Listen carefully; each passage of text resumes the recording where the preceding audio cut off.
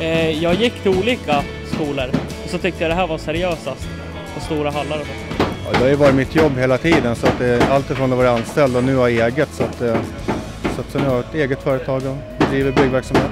Det är ett år GBK så man får testa alla inriktningar och sen är det två år eh, på special, det du har valt.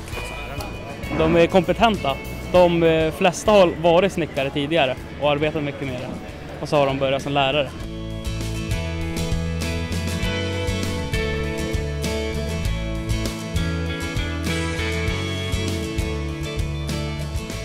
Skolan är väl en av cirka 15-16 skolor i Sverige som har komplett program vilket innebär att eh, alla samtliga bygg och anläggningsinriktningar finns representerade på skolan. Och det gör ju skolan lite unik då, i att vi kan erbjuda samtliga kompletta utbildningar.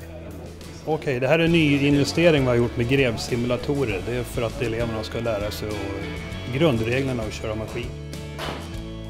Som det ser ut nu så är det jättestora eh, chanser att få jobb när man gått ut skolan. Eh, jag tycker det är bra att man eh, både har teoretiskt ett par veckor och sen har du det praktiska och sen just att du får vara ute eh, visst antal veckor på praktik. Mm. Så att eh, du får allt och du hinner inte bli trött på skolan så att säga innan du får gå in. Så att det är mycket skiftning och det är det som är skönt.